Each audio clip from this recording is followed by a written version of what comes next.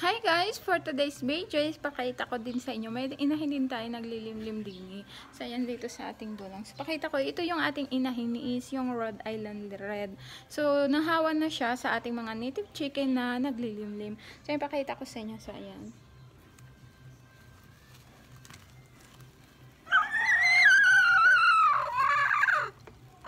So ayan.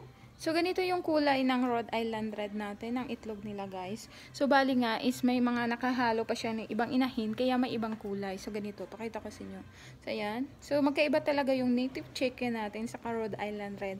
O yung mga Hubbard, kasi may kulay yun eh. So, ayan. Pakita ko sa inyo. So, bali nagmi-mix-mix nga sila. Dahil ganun mga ugalay nila eh.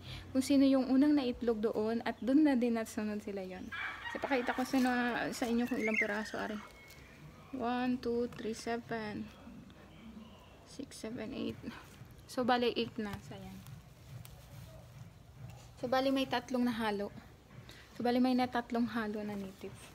Sayan so kita nyo so yung ating ating Rhode Island Red so bali ito yung ating Rhode Island Red yan. so nalimlim siya diyan. So buti na lang nalimlim na siya no? So yan lang guys. Thanks. Babu